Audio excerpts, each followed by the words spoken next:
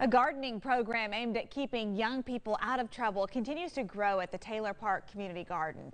This initiative is a collaboration between the Taylor Park Community Center, the Juvenile Court of Mobile County, the Mobile Police Department, and local nonprofit organizations. One of the gardeners who works directly with young people says the program isn't just about learning how to tend to a garden and grow fruits and vegetables.